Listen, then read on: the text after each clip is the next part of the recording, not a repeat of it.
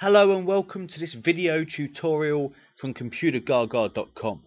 In this video we are going to look at how you can insert a QR code into your Word documents. Now we're going to start by going to the Insert tab and over to your add-ins area which has only been out for a couple of versions now of Office so unless you have one of the more recent versions of Word then you may not have access to this. But what I'm going to need to do is grab one of the many really useful add-ins that you can get nowadays and seamlessly interact with your Word, your Excel and your PowerPoint documents. I'm going to click on the store because I need to go and find this QR code generator that I want to use. So I'm going to click on this store button on the insert tab and I'm going to click on the store uh, like link at the top. And I'm going to search for the one that I'm interested in which is Office QR and I'm going to search on those words where it will return a few suggestions for QR code generators. So you can take your pick out of the ones that are provided here. They're all a much of a muchness. They'll all get the job done seamlessly and easily into your Office documents. I'm going to choose this second one, QR for Office, as it has more stars than the one above. It has a better rating. And I'm going to add that in to my Word document. Here it goes. It's just opening up on the right hand side here. So here it is. It's now available in My Add-ins for future use. Little drop down. QR for Office will be there for me now is actually available on the right hand side right now for me to put in my first add-in. And the first thing it asks me to do is to enter the URL or text I would like to encode.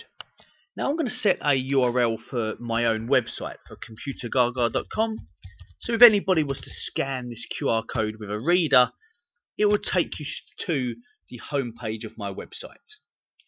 So I've got http computergaga.com so you've got a variety of options in here. Doesn't have to be a web address, could be a secure HTTP there, could be an email address with mail to. We've even got SMS and some other options. I'm just going to go for a typical link to my website. I have options to change the colour and the background and indeed even the size of this.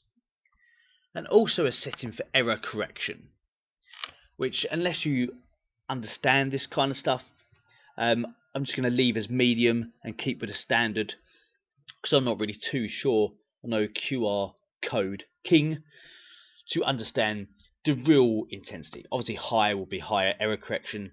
I'm not sure really what the difference is. I'm going to keep with their recommendation of a medium 15%. And I'm probably just going to keep mine black and white because that's how you normally see them.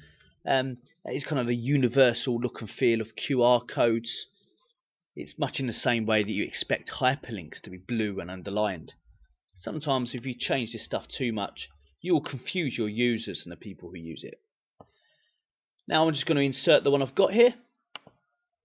Click on my insert button and in it goes. I have myself a QR code that if it was scanned by a reader would take you to the home page of my computergaga.com website.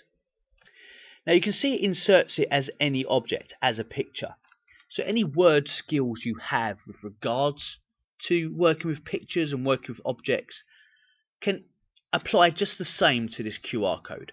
For example, I can resize it, I can align it, I can anchor it, I can do all the kind of stuff that you associate with objects. I can layer them. So you can work this in with your documents, uh, especially if you're creating some kind of promotional or marketing material, you know, such as a leaflet or a brochure or a newsletter, then this QR code can be a very lovely little touch for people to find additional information or some kind of discount or promotion that you may not have been able to squeeze into that leaflet. They can use this to attain that extra more detail or to go straight to a kind of discount landing page or something for you to use. Very simple. You get some really great apps in Office nowadays.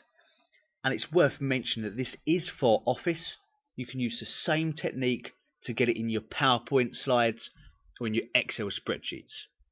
I didn't demonstrate them because you're far less likely to use it in those environments than you are to Word, but this is just one of those awesome online office apps that you can get now. I hope you found that tutorial useful. Please check out some of my other tutorials on my YouTube channel.